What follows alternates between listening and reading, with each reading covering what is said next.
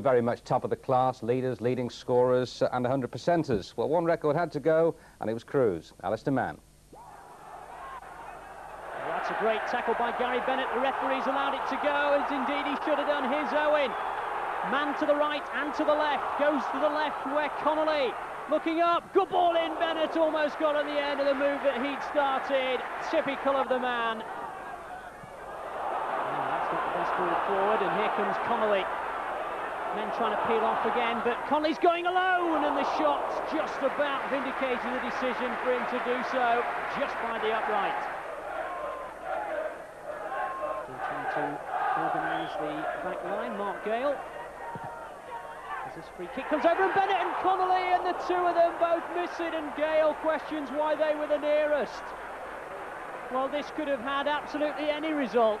A direct free kick straight in, an own goal, and maybe the far post, Bennett and possibly Connolly on the near will think themselves unlucky not to have got there. Owen looking it on. Bennett has time to turn, releases Owen. Fast coming across, but he's not going to put him off. Wrexham take the lead. Gareth Owen, the scorer. Bennett had time to turn. Owen continued the run.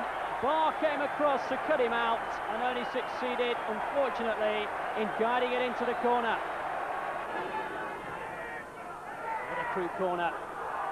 Allowed to reach the far post. Shaun Smith with a volley and Andy Marriott with a save. Good effort from Smith. Owen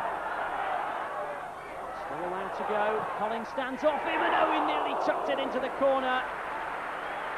And Gayle for a minute there looks as though he was well beaten.